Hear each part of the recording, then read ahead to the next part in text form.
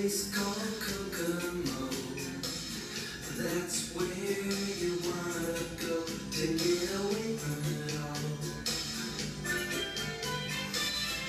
Bodies in the sand, tropical dream melting in your hand.